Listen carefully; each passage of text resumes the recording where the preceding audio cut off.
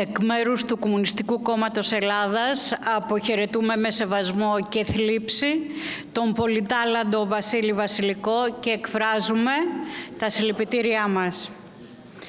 Τώρα σε ό,τι αφορά το νομοσχέδιο. Νύχτα κύριε Υπουργέ, καταθέσατε δύο υπουργικές τροπολογίες. Ειδικά για την πρώτη είναι πρόκληση γιατί πρώτον καταργείται το, προσυμβα... το προσυμβατικό έλεγχο του ελεκτικού συνεδρίου στις συναλλαγές του ΤΑΙΠΕΒ. Δηλαδή, λύνεται τα χέρια του να κάνει συμβάσεις κατά τα οδοκούν χωρίς έλεγχο για τη δημόσια περουσία. Δεύτερον, νομιμοποιείται τα κοράκια ώστε να παρίστανται στα δικαστήρια σε βάρος των οφειλετών. Αυτούς στηρίζεται ξεδιάντροπα. Τρίτον, με σημασία πρώτη, κατοχυρώνεται τους εκβιασμούς των κορακιών σε βάρος των οφειλετών που πληστηριάζεται το σπίτι τους. Ντροπή. Νύχτα το φέρατε για να μην ακουστεί για περισσότερες ώρες και να μην αποφανθεί και η Επιστημονική Επιτροπή της Βουλής. Βέβαια, είναι ολοφάνερη η αγωνία και το ενδιαφέρον του αστικού συστήματος, των αστικών κομμάτων και της κυβέρνησης για να υπάρχει πλήρης εξυγίανση στις τράπεζες. Γιατί οι τράπεζες, το χρηματοπιστωτικό σύστημα αποτελούν την καρδιά του καπιταλιστικού συστήματος, τον αιμοδότη λογαριασμών. Γι' αυτό δεν διασφαλίζεται την προστασία της πρώτης κατοικίας και κυρίως οι ευάλωτοι δανειολήπτες που βρίσκονται στα νύχια των κορακιών πιστώσεων, των αγοραστών πιστώσεων, έτσι τα λέτε τα κοράκια, έτσι τα λέει ο απλός κόσμος. Ταυτόχρονα μαύρα σύννεφα μαζεύονται στην πορεία της διεθνούς καπιταλιστικής οικονομίας. Σημάδια επιβράνδυσης παρουσιάζονται και δημοσιονομικοί κίνδυνοι σε χώρες της Ευρώπης που αυξάνονται. Οι προβλέψεις για υψηλή αβεβαιότητα περιλαμβάνονται και στον προϋπολογισμό του 2024. Μπροστά στα σημάδια που πληθαίνουν για επικείμενη, για επικείμενη καπιταλιστική κρίση που όλοι εκτιμούν, ότι τα υπερχρεωμένα νοικοκυριά θα αυξηθούν. Αφού όχι μόνο η ακρίβεια αυξάνεται, αλλά και το διαθέσιμο λαϊκό εισόδημα δεν επαρκεί να καλύψει τις επιπλέον δόσεις από την αύξηση των επιτοκίων. Παίρνετε λοιπόν επιπλέον μέτρα Ευρωπαϊκή Ένωση και η κυβέρνηση συνολικά. Μέτρα για να θωρακίσετε ακόμα πιο πολύ τα συμφέροντα των ομίλων, τις τράπεζες, τα funds κοράγια, το χρηματοπιστωτικό σύστημα συνολικά, με κρατικές εγγύησεις, φοροαπαλλαγές και άλλα, σε βάρος των χρεωμένων οικοκυριών και του λαού συνολικότερα. Τη νέα οικονομική κρίση επιλέγεται να πληρώσει και πάλι ο λαός όπως και στην περίοδο των μνημονίων που θα επομιστεί το κόστος διάσωσης των ομίλων. Αυτή είναι η ταξική πολιτική σας με τέτοια νομοθετήματα. Αντί να πληρώσουν οι μεγαλομέτοχοι, την πληρώνει ο λαός. Γι' αυτό εξάλλου το νομοσχέδιο αυτό συμπεριλαμβάνεται στα προαπαιτούμενα του Ταμείου Ανάκαμψης μαζί με άλλα, ανάμεσά τους το φορολογικό νομοσχέδιο της άγριας φορολιστίας που βγάζει μαζικά σε κινητοποιήσεις στους δρόμους επαγγελματίες και αυτοαπασχολούμενους, η παραπέρα εμπορευματοποίηση της υγείας, το κτηματολόγιο και οι αλλαγές στον εξοδικαστικό μηχανισμό για την επιτάχυνση πληστηριασμών και το βίαιο καθάρισμα των κόκκινων δανείων.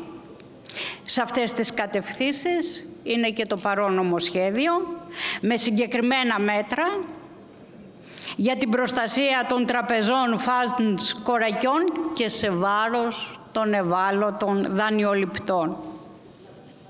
Τι περιλαμβάνει; Πρώτον, ενσωματώνει διρεκτίβες της Ευρωπαϊκής Ένωσης. Στόχος είναι να νομιμοποιήσει και να διευκολύνει την αγοροπολισία των κόκκινων δανείων και τη δημιουργία μιας δευτερογενούς αγοράς για αγοροπολισίες μεταξύ αγοραστών πιστώσεων, εννοούμε τα κοράκια, με ενιαίο τρόπο σε επίπεδο Ευρωπαϊκής Ένωσης, διαμορφώνοντας έτσι ένα ενιαίο πλαίσιο κανόνων που ρυθμίζει τις σχέσεις των χρηματοπιστωτικών ιδρυμάτων με τις εταιρείες διαχείρισης και τους αγοραστές δανείων.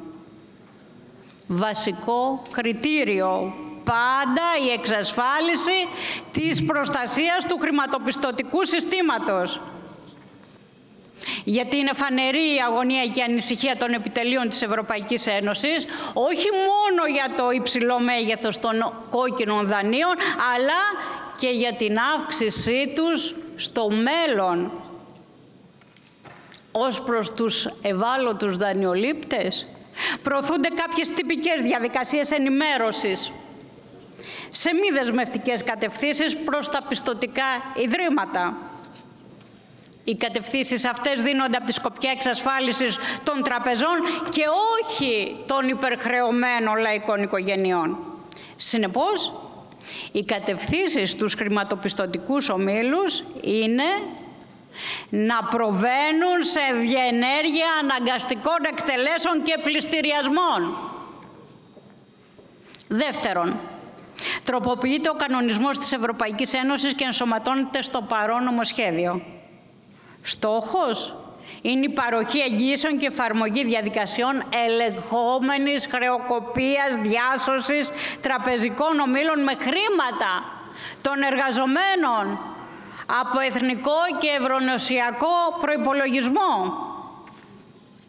Η προσαρμογή αυτή παίρνει υπόψη την αναμενόμενη οικονομική κρίση, την αβεβαιότητα για την κερδοφορία του σε συνθήκες οξυμένων υπεριαλιστικών ανταγωνισμών και τριγμών που δημιούργησε ο πόλεμος στην Ουκρανία, οι κυρώσεις στη Ρωσία, η όξυση των υπεριαλιστικών ανταγωνισμών με Κίνα, ο πόλεμος στη Μέση Ανατολή και η ρευστή κατάσταση με πρωταγωνιστή το κράτος δολοφόνο του Ισραήλ βασική λογική είναι η εξυγίαση διάσωση δηλαδή μεγάλων χρηματιστικών μονάδων με κρατικό χρήμα. Πρακτικά δίνεται το δικαίωμα στους ομίλους να κάνουν καθάριση φορτώνοντας τα χρέη και τις ζημιές σε μία θηγατρική ή σε άλλη εταιρεία του, του ομίλου αφήνοντας το πεδίο καθαρό για τον υπόλοιπο όμιλο. Είναι κάτι σαν δυνατότητα δημιουργίας μιας κακής τράπεζας στα πλαίσια των ομίλων. Ζωντανό παράδειγμα τέτοιας διαδικασίας στο παράδειγμα της Alpha Bank που έσπασε στα δύο, έκανε κεφαλοποίηση με αύξηση συμμετοχικού κεφαλαίου δίνοντας το περιθώριο σε διεθνή επενδυτικά funds να αγοράσουν ξανά φτηνά μετοχές στην ανακεφαλοποιημένη και καθαρισμένη τράπεζα από το Ταμείο Χρηματοπιστωτικής Σταθερότητας. Πρόκειται για βαθιά αντιδραστικό κανονισμό που καταστρώνει τρόπους και μεθόδους στήριξης του χρηματοπιστωτικού κεφαλαίου με χρήματα από τη φορολιστία των εργαζομένων. Χαμένοι θα βγαίνουν οι εργαζόμενοι και πιθανά ορισμένοι μικρομέτοχοι, αφού αυτοί θα υπομίζονται τα βάρη από την απαξίωση του κεφαλαίου που θα φέρνει η εκαθάριση με μειώσεις μισθών και μερισμάτων, κατάργηση δικαιωμάτων και απολύσεις, όπως η Τράπεζα Πυραιός που έχει ξεκινήσει μπαράζ εκβιασμών και τρομοκράτησης στους υπαλλήλους προκειμένου να αποδεχτούν την υποτιθέμενη εθελούσια απόλυσή τους στο όνομα ανασχηματισμού του τραπεζικού συστήματος. Τρίτον, Προωθούνται τροποποιήσεις στον εξοδικαστικό μηχανισμό ρύθμισης οφειλών που σε καμιά περίπτωση δεν αντιμετωπίζεται το πρόβλημα της υπερχρέωσης χιλιάδων εργαζομένων που έχουν οφειλές σε τράπεζες, δημόσιο και ασφαλιστικά ταμεία. Ούτε φυσικά παρέχεται δικαστική προστασία σε χιλιάδες εργαζόμενους που κινδυνεύουν να χάσουν την κύρια κατοικία τους. Αφού με βάση το νομικό πλαίσιο που έχει διαμορφωθεί, οι οφειλέτες καλούνται να χειριστούν ηλεκτρικές πλατφόρμες με υπολογιστικά συστήματα που έχουν διαμορφωθεί από τους πιστωτές. Να προσκομίσουν μια πληθώρα δικαιολογητικών εγγράφων σε ασφικτικές προθεσμίες. Να αποδεχτούν ότι κατά τη διαδικασία αυτή έρεται κάθε απόρριτο και διατρέχουν τον κίνδυνο να ρευστοποιηθεί το σύνολο της περιουσίας τους και η πρώτη κατοικία τους. Όλα αυτά ενισχύουν τους πιστωτές. Παράλληλα, προωθείται τη λειτουργία του φορέα απόκτησης επαναμίσθωσης που θα συγκεντρώσει στην ιδιοκτησία του πληθώρα ακινήτων και δεν θα επιβαρύνεται με φόρους, αλλά θα απολαμβάνει φόρο απαλλαγές όπως οι εφοπλιστές. Ταυτόχρονα, η διαδικασία μεταβίβασης της κύριας κατοικίας στον φορέα απόκτησης και επαναμίσθωσης θα επιβαρύνει τον ευάλωτο οφειλέτη. οφειλέτη. Ε, είναι ντροπή. Τέταρτον, γίνεται επανεισαγωγή του προγράμματος Ηρακλής για τρίτη φορά μέχρι τέλος Δεκέμβρη του 2024 αναδεικνύοντας τη χρησιμότητα και αποτελεσματικότητά τους στην απαλλαγή των χρηματοπιστωτικών ιδρυμάτων από τα κόκκινα δάνεια. Μέσα από τη μείωση των μη εξυπηρετούμενων δανείων θα αυξηθεί η ρευστότητα στην αγορά, θα χρηματοδοτηθούν επενδύσεις, θα υπάρξει παροχή νέων δανείων. Αυτή είναι η καπιταλιστική ανάπτυξη με κερδισμένους τις τράπεζες και χαμένους μέσα από το θάνατό τους των υπερχρεωμένων λαϊκών οικοκυριών. Το ύψος των κρατικών εγγυήσεων που θα δοθούν θα είναι περίπου 2 δισεκατομμύρια ευρώ και αν εκπέσουν θα επιβαρύνουν το χρέος, δηλαδή το λαό. Όμως το εργαλείο εξυγίασης των τραπεζών με τιτλοποίηση των κόκκινων δανείων, με κρατική εγγύηση δεν είναι καινούριο. Βασίζεται στη σταδιακή άρση προστασίας της πρώτης κατοικίας, το σταδιακό ξύλωμα του νόμου Κατσέλη, που και αυτό περιορισμένη προστασία είχε για την πρώτη κατοικία, γι' αυτό το σύνολο των κόκκινων δανείων που είχαν προσφύγει, στο νόμο Κατσέλη αποτελούσαν περίπου το 40% ξυλώθηκε επί κυβέρνηση ΣΥΡΙΖΑ και αδειοδότησε τα διάφορα φαν σκοράκια για να μπορούν να διαχειριστούν τα κόκκινα δάνεια και μάλιστα με ηλεκτρονικό τρόπο και ποινικοποίηση των λαϊκών διαμαρτυριών. Τώρα γίνεται μαύρα δάκρυα. Τελικά έχετε κοινή αφετηρία. Η ίδια αντιλαϊκά κριτήρια και ας τα παρουσιάζετε τόσο διαφορετικά. Το ένα είναι συνέχεια του άλλου και οι διατάξεις του ενός παρισφρέουν στις διατάξεις του άλλου. Με κατάληξη. Πάντα να πληρώνει ο λαός και να πηγαίνει από το κακό στο χειρότερο. Αυτά Αυτά αφορούν και την προστασία για τα κόκκινα δάνεια και τις προτάσεις που κάνετε. Έτσι είναι η σοσιαλδημοκρατία σε όλες τις εκφράσεις της, είτε λέγεται Πασόκ, είτε ΣΥΡΙΖΑ 1, είτε ΣΥΡΙΖΑ 2. Γι' αυτό και η κριτική σας είναι ανούσια και οι προτάσεις σας. Το γιατί είναι απλό γιατί κανείς σας δεν ξεστρατίζει από τα κριτήρια που θέτουν η Ευρωπαϊκή Ένωση και η ίδια η καπιταλιστική αγορά για τις τράπεζες και την κερδοφορία των ομίλων. Γι' αυτό και ο κύριος Τσακαλώτος χτες αναφέρθηκε και στα θετικά του νομοσχεδίου, αλλά η διαφορά του ε, προτιμάει το Ηρακλής 1 από το Ηρακλής 3 που είναι η συνέχεια του.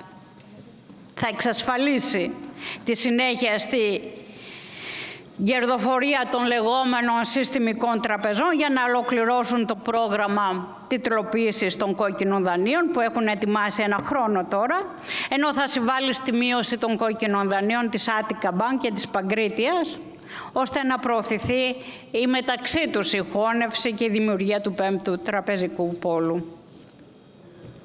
Έτσι ετοιμάζεστε και εξοπλίζεστε για το τσουνάμι των δεκάδων χιλιάδων πληστηριασμών και κατασχέσεων λαϊκών οικοκυριών μέχρι το τέλος της χρονιάς και συνεχίζεται.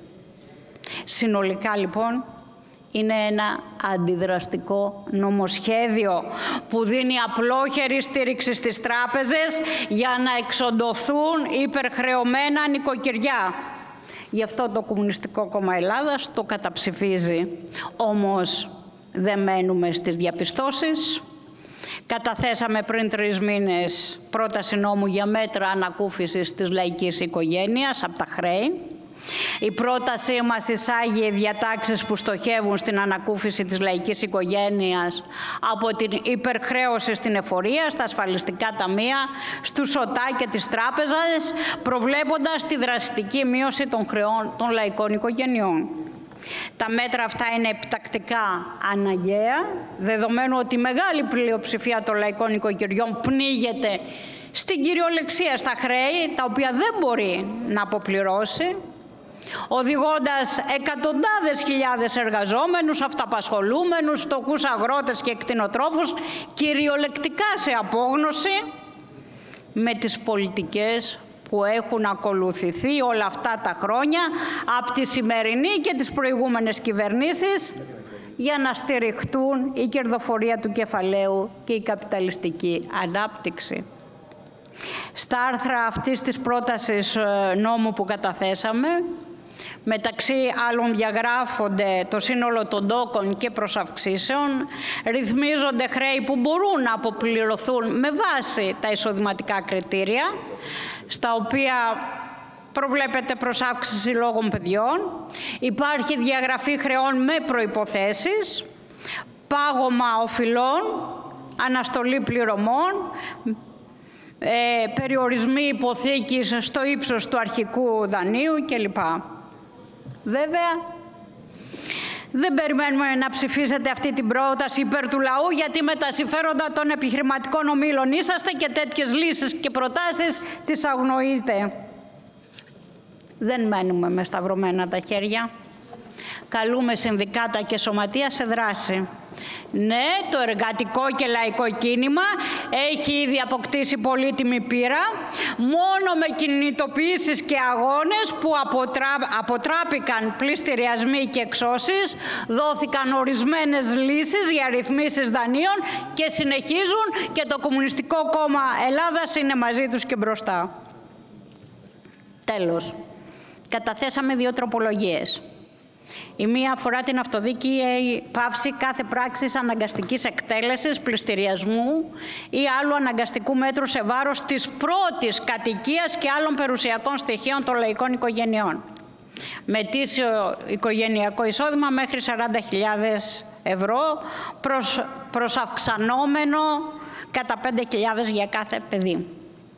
Και η δεύτερη αφορά τα στεγαστικά δάνεια των παλινοστούντων ομογενών και ο κίνδυνος για να χάσουν τη μοναδική τους κατοικία, που είναι πολύ μεγάλος. Προτείνουμε λοιπόν να διαγραφτούν οι τόκοι που έχουν διαμορφωθεί και κάθε ποσόν που αντιστοιχεί σε τυχόν πραγματοποιηθέντα ανατοκισμό και ανακεφαλοποίηση κάθε μορφής τόκων. Θα είναι μία ανακούφιση. Σας καλούμε στην υπερψήφισή τους.